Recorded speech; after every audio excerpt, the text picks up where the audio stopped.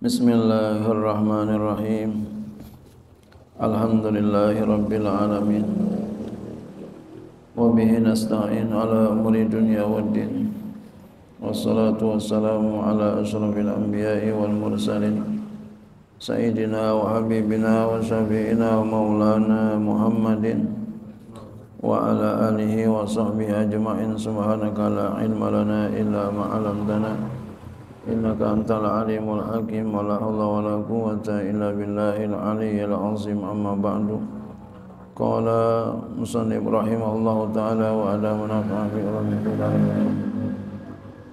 Khatimatun fi madhi sakhai wal judi ini satu penyempurna tentang terpujinya dermawan dan murah hati. Akhrajal Bukhari wal Baihaqi telah mengeluarkan oleh Imam Bukhari dan Baihaqi As-sakha'u syajaratin min asjaril jannati. Dermawan itu adalah pohon di antara pohon-pohon surga. Aghsanuha mutadaliyatun fid Dahan-dahannya menjulur di dunia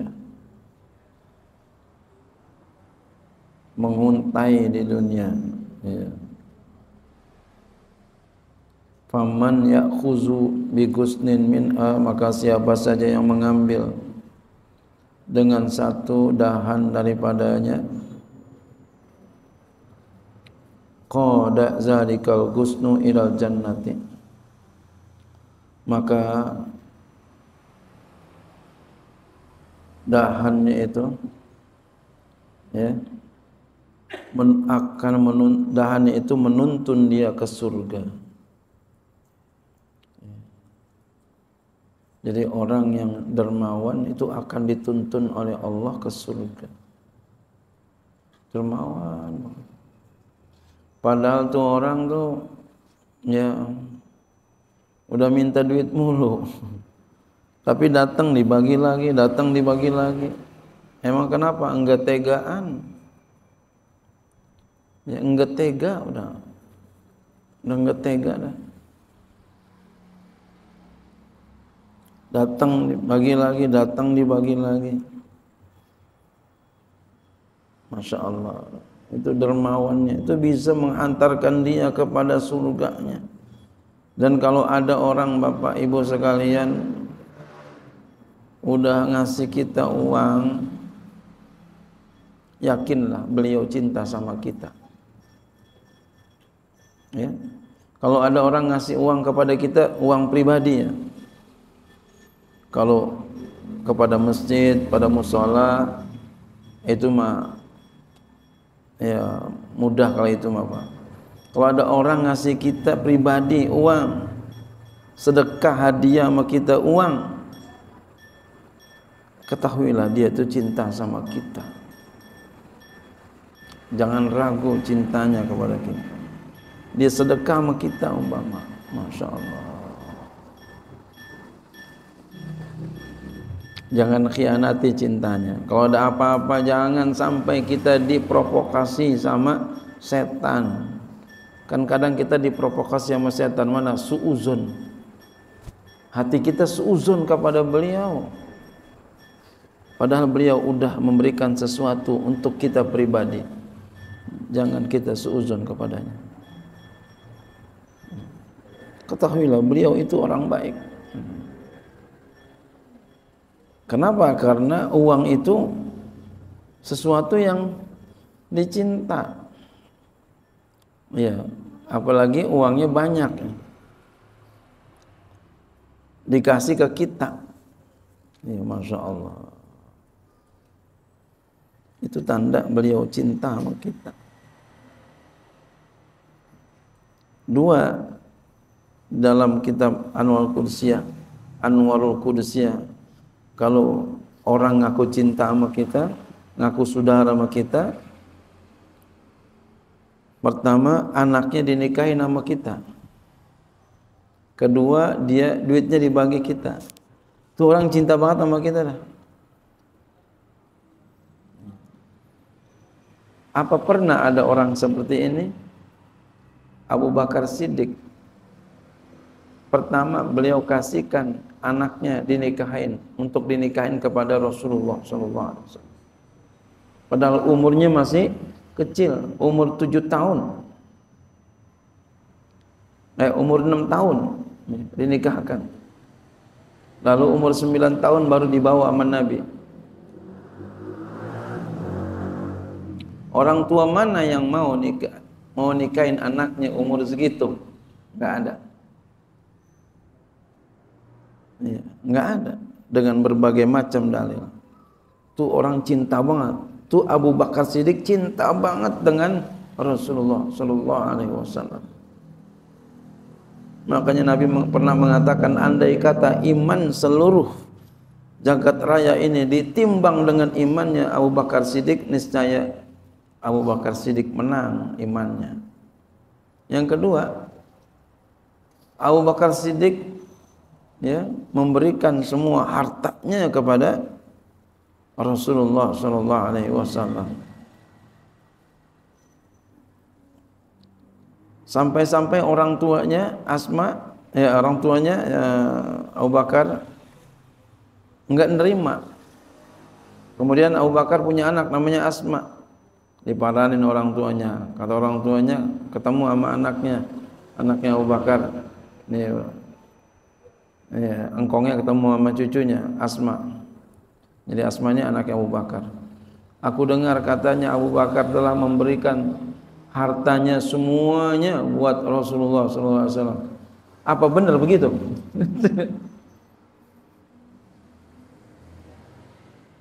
jadi rupanya babanya nggak setuju. Kalau hartanya dikasih semua, entah buat lu mana. Enggak, kata Asma nih. Ini Asma anak yang soleh bantuin babanya. Enggak, kata. Kata anaknya, ama engkongnya ngomong berdialog. Engkong melihat duitnya mau, nih lihat nih, diajak rupanya engkongnya udah enggak bisa lihat diajak ke tempat babanya naruh duit sama Asma ambil buru-buru batu kerikil. Asma langsung ambil batu kerikil taruh di tempat di mana Abu Bakar Siddiq naruh duit. Ya. Lalu engkongnya itu baba engkongnya Asma atau babanya Abu Bakar Siddiq dibawa ke situ. Diraba oleh tangannya akan tempat akan ya e, batu kerikilnya itu tadi ditaruh tempat duit ini udah nggak bisa lihat anak e, orang tuanya nih orang tuanya Abu Bakar Siddiq atau engkongnya Asma kata orang tuanya ternyata benar dia enggak sedekahin semuanya. Ternyata Abu Bakar Sidi Abu Bakar orang yang bijaksana. Padahal itu kerikil bukan duit. Subhanallah. Luar biasa itu. Luar biasa itu. Asma itu. Bantuin babanya. Jadi orang yang dermawan ya, adalah orang yang sangat mulia sekali. Nanti kita baca di sini dalilnya luar biasa. Ini kelebihan orang yang dermawan. Itu dua. Kata Abu Bakar Siddiq, kalau dua itu orang sampai melakukan itu kepada kita, jangan ragu beliau cinta kepada kita. Cinta, cinta banget. Kalau ada setan propagandain kita, tepis jauh-jauh. Mana setan propagandain kita? Di hati kita ada suuzon. Ya, begini begini begini padahal itu adalah ingin menghancurkan kita. Supaya kita jadi orang yang enggak pandai terima kasih. Jangan sampai begitu. Jadilah kita orang yang pandai terima kasih. Itu salah satu daripada tipu daya setan ingin hancurkan kita supaya kita orang yang enggak pandai terima kasih. Ya. Wal bukhlu pelit sajaratun min asjarin nari. Pelit itu adalah pohon di antara pohon-pohon neraka. Ini kita yang tahu pelit kagaknya kita. Ya. Kadang kita ngomong di hati kita, gua ngapa jadi orang pelit banget ya. Astagfirullahaladzim. Jangan sampai.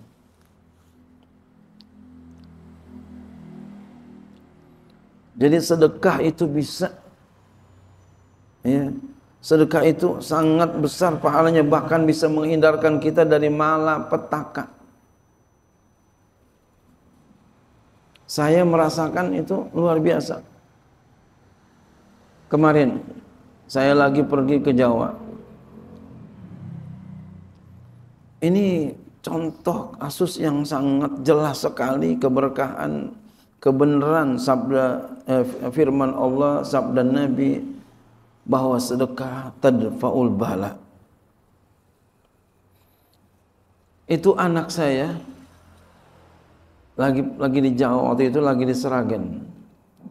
Anak saya itu si Hakam. Lagi main di jalanan. Ada mobil kenceng banget. Edi ngelihat Bang Edi itu begini. Ini mobil, ini ini hakam, ini mobil. Itu. Masya Allah. Sama-sama kenceng. Begini. Lah kalau Allahu Akbar. Kita lagi mampir ke rumah bekas tetangga. Ada tetangga pindah ke sana. Mobil begini.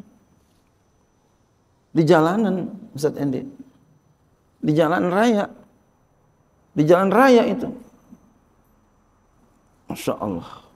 Jadi dua-duanya menghindar. Saya pikirin itu, ini apa yang bisa menyelamatkan ini? Saya pikirin, oh iya, Masya Allah, tadi saya habis sedekah sama kiai tadi, sama gurunya anak saya. Saya tadi habis sedekah. Sedekahnya nggak sedikit. Ya, nggak usah dibilangin ya. Nanti terheran-heran. Ya, sedekahnya nggak sedikit. Karena tuh musibahnya gede tuh. Masya Allah. Ya Allah, saya sampai sedih, saya sampai keluar air mata keluar. Sampai keluar air mata diceritakan itu. Yang ceritain Bang Edi, ceritain. Masya Allah. Itu nggak tahu dah kalau terjadi itu gimana. Itu. Saya juga pernah ya lebih kecil itu dari itu. Anak saya Auza'i itu lari sekencang-kencangnya ngejar saya. Di dekat dia ada kulit pisang. Jadi dia nginjak kulit pisang. Udah mau ken, udah deket sama saya nginjak kulit pisang. Nginjak kulit pisang langsung terpelentang begitu ke belakang. Langsung saya tanggap ini. Masya Allah. Bagaimana Pak ini? Injak lu pisang tuh? Templanting langsung. Langsung saya tanggap. Kalau enggak itu bagaimana tuh palanya nih mentok ke bawah. Saya pikirin apa ini? Bisa selamat begini. Oh, lima menit sebelum ini itu ada santri jalan lari lari sekenceng-kencengnya jatuh di samping kamar saya itu. Samping kamar di belakang tahu itu. Kolom ikan. Jatuh di situ sampai kayak nangka jatuh gubok itu. Nangka peduren. di hati saya berbisik, kamu keluar bagi duit santri suruh ngurut. Waalaikumsalam. Oh ya, ya, ya, semua yayasan. Ya, ya. Udah situ aja deh.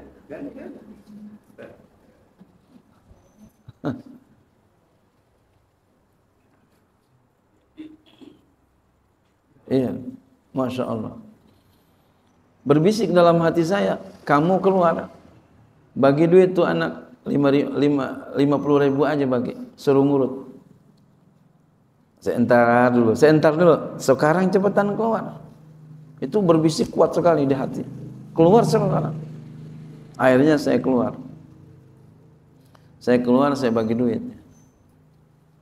kamu segera ngurut itu bocah jatuh nggak bisa uh, apa namanya kenceng-kenceng nggak ya susah bangunnya kata saya jangan dibangunin biar dia bangun sendiri kan nggak boleh kalau dibangunin uh, alhamdulillah dia urut sembuh datang Bang Haji nggak dengar nih ceritanya. Masya Allah. Masya Allah, Masya Allah. Jadi luar biasa. Ya luar biasa itu masya Allah jadi sedekah benar-benar menghindari kita daripada ya. karena bang Haji eh, kalau nggak diceritain penasaran eh, bang Haji kesian nanti nanya-nanya Pak masya Allah ya, nanti sama Bu aja ceritain ya. Itu benar-benar terjadi itu. Sampai saya diceritain sampai keluar air mata bang Haji. Nangis saya diceritain. Terima kasih maksudnya sama Allah. Anak saya terhindar dari musibah. Ya. jadi saya lagi pergi ke Seragen ke, ke Jawa ke Jawa Timur.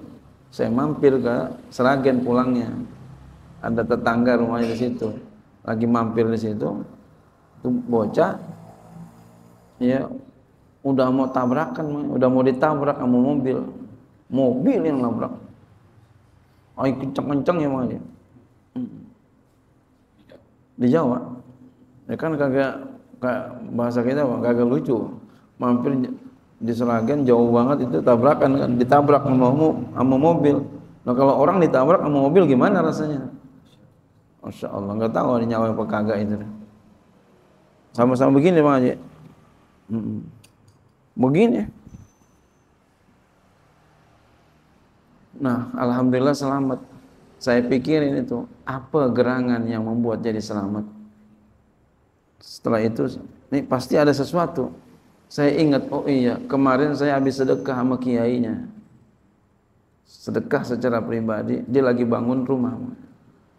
Jadi, ya, sebagaimana saya suka omongin tuh, kalau murid ya, biar hidup sama guru itu. itu saya bagi. Ya, duit ya alhamdulillah ya jangan diceritain duitnya berapa duitnya ya insya Allah alhamdulillah orang bangun tentunya baginya nggak sedikit ya. ya kita bagi banyak biasanya musibah yang besar juga terhindar dengan sedekah yang banyak masya Allah jadi apa artinya yakinlah firman Allah benar sabda Nabi benar kalau kita sedekah itu bakal dihindarkan dari musibah. Masya Allah, Masya Allah, Masya Allah. Dan banyak sekali saya alami tentang ini banyak sekali. Ya. Pernah juga saya ada orang. Ini dibalas. Ada orang datang berdua. Udah punya bini semua. Udah punya bini dua-duanya. Dia minta duit. Minta duit kagak ada malunya. Orang malu cerita malu kan ya kita ya. Terus terang minta duit bang Haji. Masih saudara sih saudara. Minta duit. Nah kemudian ketika dia minta duit ada orang datang ke rumah saya mau bagi duit saya di depan mata dia Masya Allah. Ya, saya udah siapin mang dia minta duit, terus saya ambil dulu lah. Saya lagi ambil duit, ada orang ah, mau masuk mau ngasih duit saya di depan saya, masya Allah, langsung dibalas sama orang itu. Padahal saya belum kasih, lagi mau kasih udah, tapi udah sudah udah diamplopin dua-duanya sih. Artinya apa itu? Itu kalau kita sedekah itu bakal dibalas oleh Allah. Dan sebaliknya kalau kita minta-minta ya itu bikin kita jadi malu. Ya, kita jangan minta-minta buat pribadi kecuali buat pesantren, buat masjid, buat musola itu bukan minta. Itu namanya mengajak. Banyak sekali, ya, banyak sekali.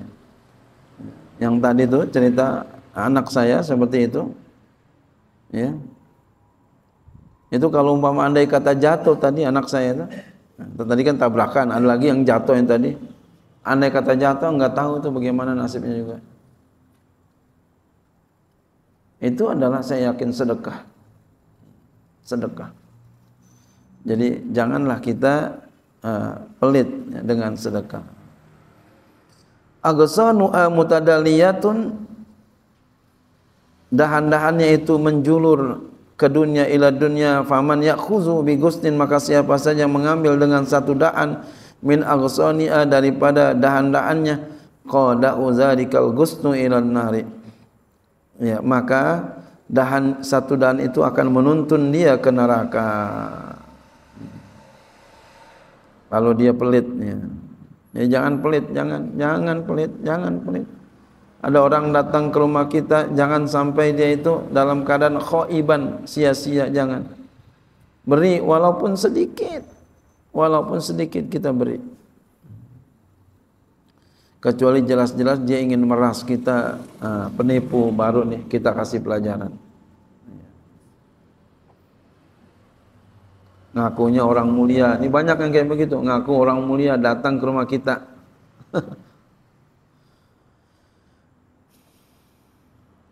Wa ibnu adiyin. Riwayat Imam Ibnu Adi al jannatu darul askhiyai surga itu adalah negeri orang-orang yang dermawan.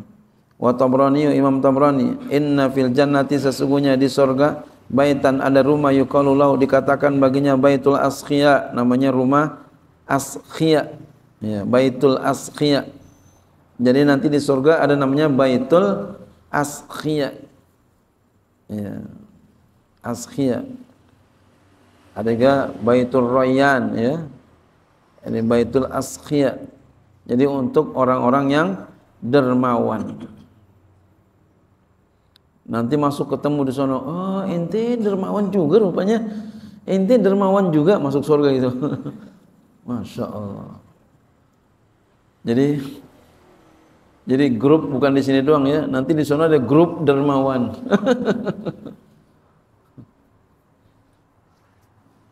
Iya. Wa Tirmizi wal Bai'aqi riwayat Imam Tirmizi dan Bai'aqi As-sakhiyu qaribun minallah, qaribun minan nas. Orang yang dermawan dekat kepada Allah, dekat kepada manusia. Ya, lihat, orang yang dermawan dekat sama Allah, sama manusia pun teman, dekat. Orang kalau kita suka bagi, wah demen banget ya. Tapi kita jangan Pak, sekalian ibu-ibu, ya jangan sampai kita minta-minta, jangan sampai minta-minta. Kalau minta-minta nanti kita akan ya dihadapkan dengan kemiskinan dan kemiskinan. Kita bekerja, bekerja dan bekerja. Ya, kalau kita nggak punya uang, qaribun minal jannati dekat daripada surga, ba'idun minan nar jauh daripada neraka. Wal bakhilu orang yang bakhil pelit ba'idun jauh min Allah dari Allah. Ba'idun minan nas jauh daripada manusia. Orang gedek. Iya. Ba'idun minal jannati jauh dari surga. Qaribun minan nar dekat dari neraka. Pelit. Wal jahilus sakhiyu orang jahil dermawan. Jahil dermawan. Jahil ini orang bodoh dia.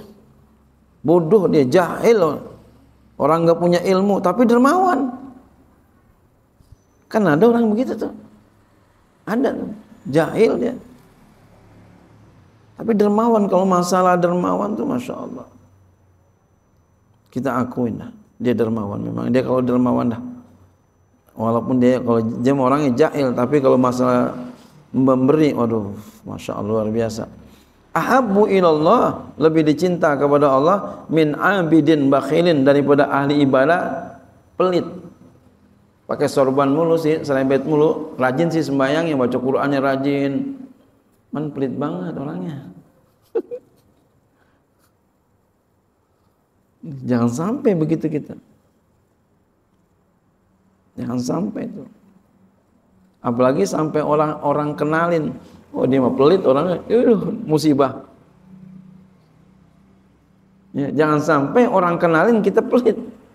Musibah dah. Takutnya ntar orang bersaksi ketika kita meninggal dunia, oh dia mah pelit banget masih hidupnya. Nauzubillah, summa nauzubillah. Ya, hendaknya dibalik ketika kita meninggal dunia, oh beliau orangnya masya Allah dermawan sekali. Saya punya engkong lah, engkong Haji Sopa. Itu beliau kan pohonnya banyak tuh, pohon kecapi, pohon nangka, pohon duren, pohon cepedak, banyak banget tuh Ustaz Endi itu orang pejuangan cerita sama saya. Kalau engkong ente mah kong haji sopa orangnya masya Allah kagak ada marahnya. Cepedaknya kita petikin enggak enggak marah kagak. Enggak marah bang haji mah malah disuruh petik lu petik sana. Duren jatuh duren itu bukan diambil berebut kita. Sama orang-orang Masya Allah. Itu pada ceritanya sama saya kayak begitu. Kan saya kan tinggalnya kan di pejuangan. Ya. Cerita begitu. Masya Allah. Itu, itu, itu jarang tuh. Termasuk jarang orang kayak begitu.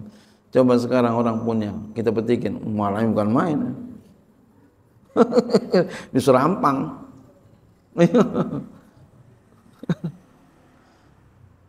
Dia enggak. Pun rambutan juga. Rambutan kan banyak banget rambutannya. Ada rambutan macam-macam rambutan itu. Itu orang naik pak enggak diomelin, dibiarin aja. Itu bukan saya yang cerita, orang itu cerita sama saya.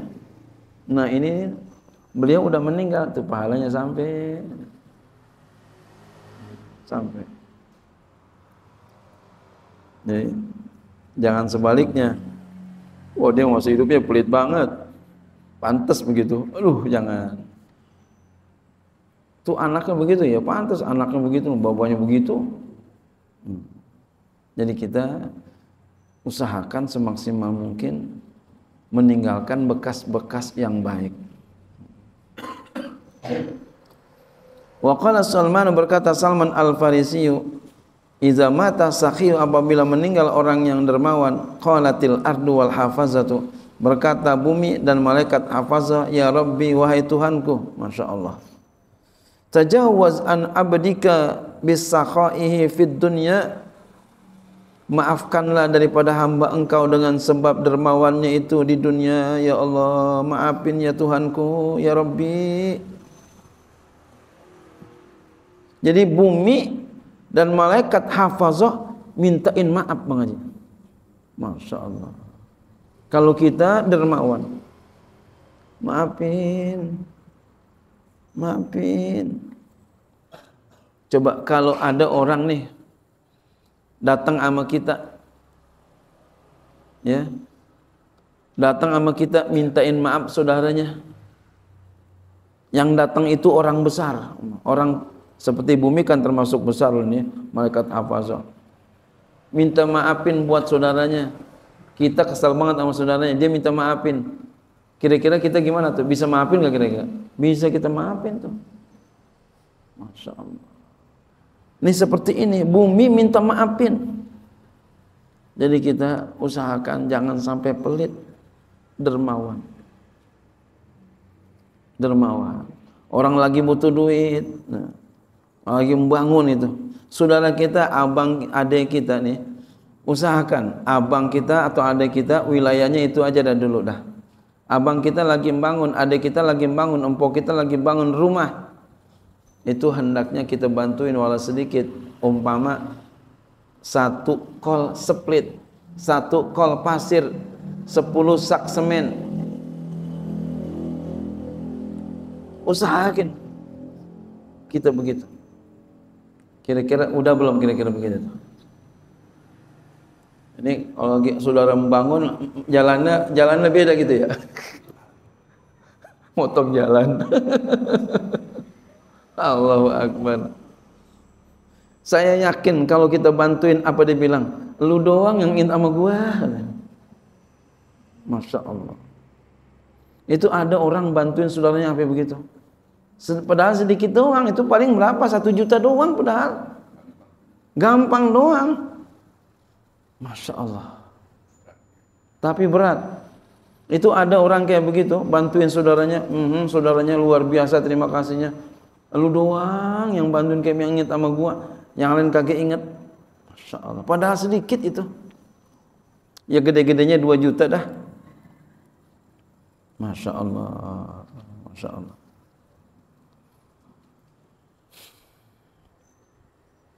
Wa iza matal bakhilu. Nah, sebaliknya apabila mati orang yang pelit kolat berkata ia bumi dan malaikat hafazah Allah. Allahumma hjub hazal abda anil jannati. Ya Allah hijablah tutuplah ini hamba dari surga. Masya Allah disumpahin ama bumi ama malaikat hafazah ya Allah tutuplah hijablah hamba ini dari surga kama hajabal kama ajaba ibaduka. Amma fi yadi minad dunya.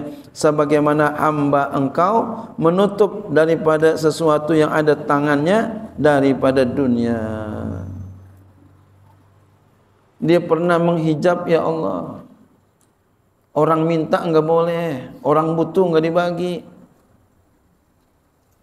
sekarang saya minta ya Allah hijab dia dari surga.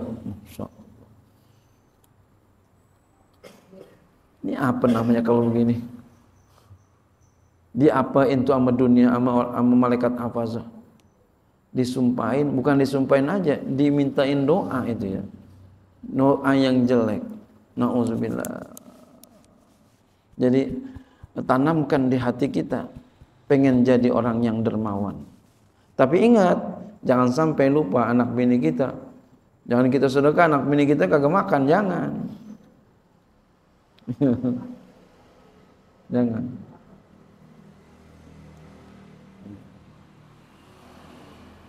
Jangan sampai, jangan sampai. Masya Allah. Udah setengah sepuluh, ya, cukup aja. Wallahu a'lam.